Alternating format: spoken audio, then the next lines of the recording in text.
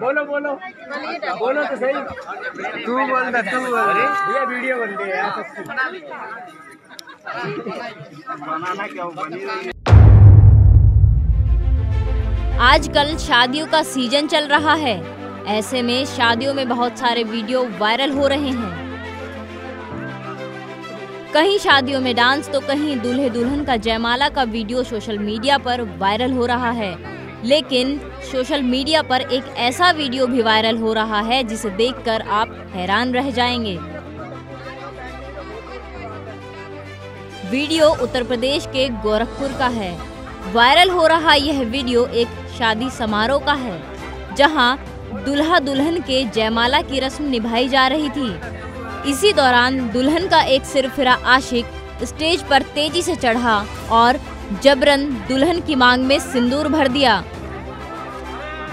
इस नज़ारे को देखकर दूल्हा सन्न रह गया। आसपास मौजूद लोग भी इस वाक़े को देखकर हैरान रह गए। उसके बाद आशिक की लोगों ने जमकर पिटाई कर दी।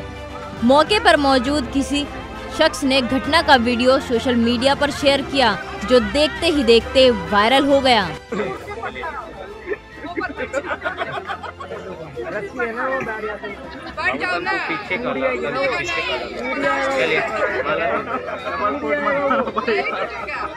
उंगली रखूँगा तब टूट जाएगा बैठने की तो बहुत दूर की बात है क्या कर रहा हूँ उंगली टूट जाएगा दोबारा बोलना दोबारा बोलो बोलो। बोलो तो सही। तू बोल तू बोल। भैया, वीडियो बन सच्ची बनाना क्या बनी रही है और अरे ये तो मज़ा